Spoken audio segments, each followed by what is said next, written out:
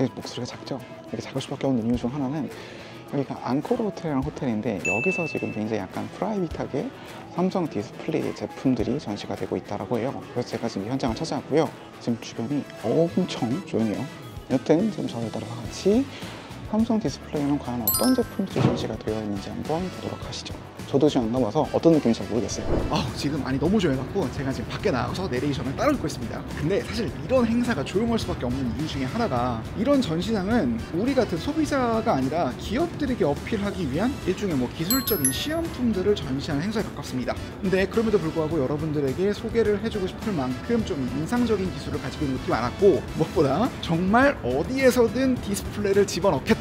그리고 그 집어넣는 디스플레이를 우리 제품으로 만들겠다 라고 하는 그런 광기와 집념이 꽤 느껴졌습니다. 일단 이번에 새롭게 공개된 디스플레이는 다음과 같아요. 흔히 뭐 갤럭시 플립처럼 생기긴 했는데 이게 중요한 게 앞으로도 접히면서 아, 이렇게 뒤로 접힙니다. 제가 방금 아, 이렇게 했는데 이게 저도 모르게 그냥 이렇게 현장에서 소리가 나오더라고요. 관계자에 따르면 그만큼 디스플레이 내구도가 보장됐기 때문에 이렇게 과감하게 앞뒤로 접는 제품을 만들었다라고 설명을 하더라고요. 아 그리고 요거는 전에 나왔던 거긴 한데 신기했던 게 보면은 foldable 노트북처럼 펼쳐지는데 그 위로 슬라이딩 방식으로 한 번 더 펼쳐지는 거 보이시죠? 이게 노트북을 가정한 시제품에서는 화면이 위로 올라가는데 저는 오히려 이게 아래로 확장하면은 노트북 터치패드 크기가 좀 늘어날 수도 있겠다라는 생각이 들었습니다. 그리고 이게 가장 저는 마음에 들었는데 무선 이어폰에 디스플레이를 단 거예요. 이게 원형으로 디스플레이를 딱 올리게 되니까 굉장히 눈에 띄더라고요. JBL에도 비슷한 제품이 있기는 한데 이렇게 원형으로 뚫어두면은 아마 워치와 비슷한 방식의 UI UX가 가능하지 않을까 뭐 이런 생각이 들었습니다. 삼성 디스플레이 입장에서는 우리는 이런 디스플레이도 깔끔하게 가공이 가능합니다. 뭐 이런 거를 강조하는 거라 하더라고요. 자, 그럼 이렇게 디스플레이를 접거나 말거나 잘라서 어디다 쓰느냐? 이게 요즘 뜨고 있는 시장 중에 자동차 전장이라고 하는 비즈니스 필드가 있거든요. 자동차의 계기판이나 뭐 앞쪽에는 대시보드 같은데 고객사의 needs에 맞춰갖고 다양한 디스플레이 같은 거를 장착하고 설치한다고 하더라고요. 보면은 삼성 디스플레이 측에서 차량의 대시보드 전체에 휘어진 디스플레이 설치하거나 뭐 지금도 테슬라 같은 거 보면은 계기판에 거대한 태블릿 형태를 갖고 있던데 이게 또 어, 좋긴 하지만은 평소에는 좀 접어두고 싶은 사람이 있을 수도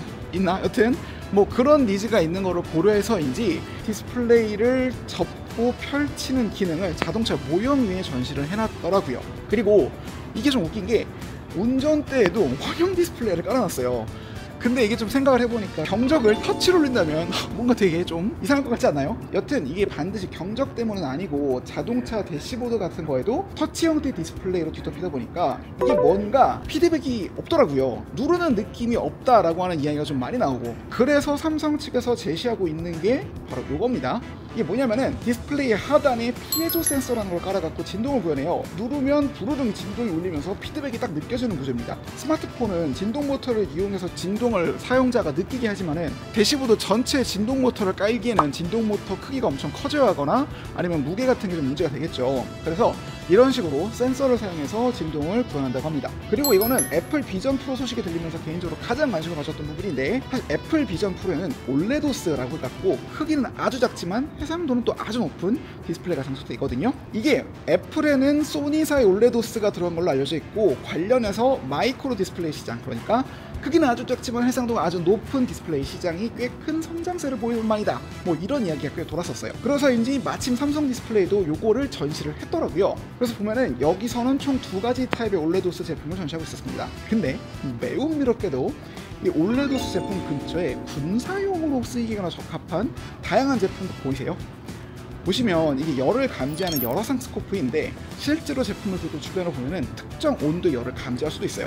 지금 벽을 보면 아무것도 없는데 scope를 통해 보면은 얼마 전 누군가가 남긴 손바닥에 열이 남아있는 거 보이시죠? 근데 사실 이렇게 열화상 센서를 통해 얻은 정보를 꽤 작은 scope 내에서 선명하게 보여주기 위해서는 그 scope의 내부 직경에 맞는 마이크로 디스플레이 즉 OLEDoS가 필요해요 그래서 이런 거에 특화된 기술을 개발했던 회사 중에 하나가 eMagin이라고 하는 기업인데 지난해 삼성 디스플레이 쪽에서 이 기업을 인수했습니다 그래서 아마 이 OLEDoS가 나온 것 같기도 하고요 여튼 이 기업은 이런 식으로 마이크로 디스플레이를 활용해서 다양한 제품들을 주로 군용 마켓에 판매해왔고 공교롭게도 그런 제품 중에는 애플 비전 프로와 유사한 기능하는 HMD가 포함이 되어 있었고 이걸 또 전시를 했더라고요.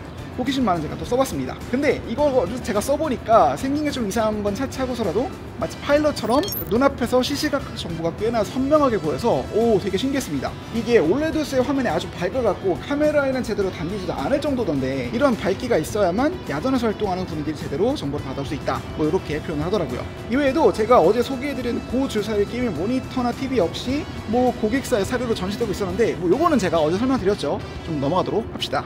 네, 다시 조용한 복도입니다. 지금까지 삼성 디스플레이 여러 가지 제품들 그리고 기술들을 보셨는데요.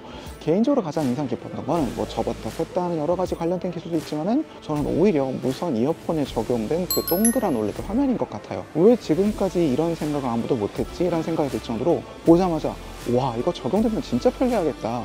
그래 무선 이어폰의 배터리 상태를 왜 무선 이어폰에 확인할 수 없지? 라는 생각이 들더라고요. 그래서 모양도 상당히 예쁜 만큼 적용된다라고 하면 전 개인적으로 네 이어폰을 바꿀 의향이 있을 정도로 꽤나 괜찮은 제품이었다는 생각이 듭니다. 좋은 아이디어였다고 생각해요. 여튼 이거 말고도 CES 2024를 앞두고 다양한 행사들이 진행 중이니까요. 그런 행사들에 대해서도 여러분들에게 소개를 할 수 있으면 소개를 가는 시간을 갖도록 하겠습니다. 네, 그러면 좋아요, 구독을 간절히 부탁드리고 영상 마칩니다. 끝.